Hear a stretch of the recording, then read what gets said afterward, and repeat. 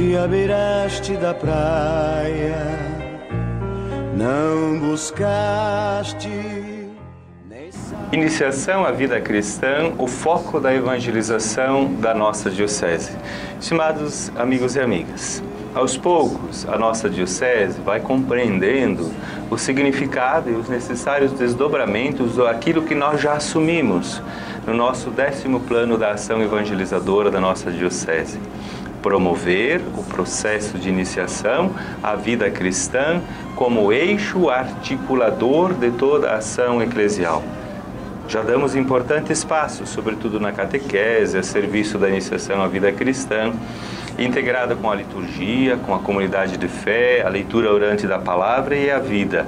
Ainda não temos tudo claro, vamos construindo juntos esse caminho, buscando iluminação com assessorias, com estudos, com experiências já realizadas nesse campo vimos com muita esperança o fato de que o tema central da 55ª Assembleia Geral da CNBB deste ano, 2017, será exatamente sobre esse tema, a iniciação cristã no processo formativo do discípulo missionário de Jesus Cristo.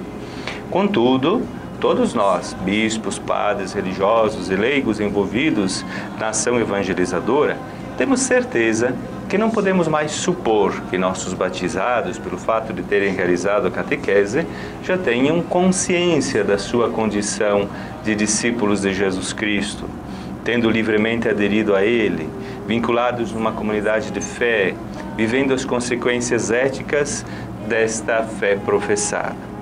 Nos é pedido uma mudança de mentalidade, já tantas vezes falada esta inicia com a dimensão missionária dos cristãos, que já participam da comunidade, daqueles que já são da comunidade, e que são chamados a irem ao encontro, fazerem-se próximos, oferecerem a possibilidade de um caminho que dê continuidade ao aprofundamento da sua fé. Não para ensinar teorias ou normas, mas para proporcionar um encontro com Jesus Cristo, com a Sua palavra, com a Eucaristia Assim como a formação humana, também a formação cristã é permanente, dura toda a vida. Todo o esforço da transmissão da fé, de iniciar na vida cristã, torna-se vão quando não se oferece estruturas comunitárias para viver esta fé, para aprofundá-la continuamente. Daí a importância de um vínculo com um grupo específico, um grupo de reflexão.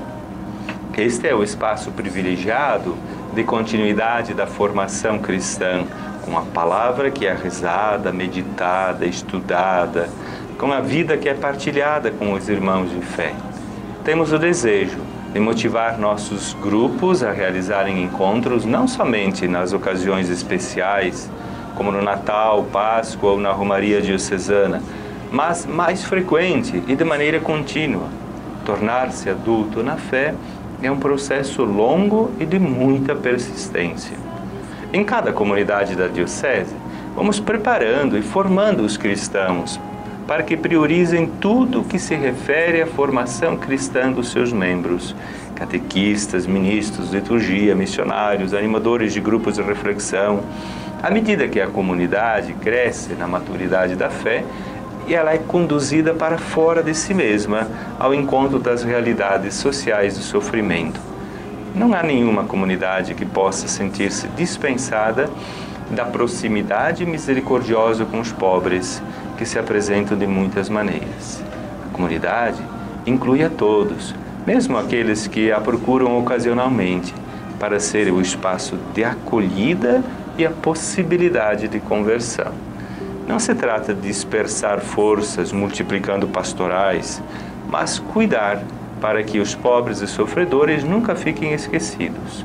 Uma comunidade indiferente aos sofredores ainda não conseguiu compreender de maneira madura a fé. Convido a todos a nos empenharmos nesse processo, pois nele está o caminho para levar as pessoas a um contato vivo e pessoal com Jesus Cristo e ao compromisso com Ele, com a Igreja, com a missão. Estaremos, sem dúvida, colaborando de modo eficaz na formação de discípulos missionários de Jesus para a realidade do mundo de hoje. Queridos irmãos e irmãs, meu abraço, as bênçãos de Deus.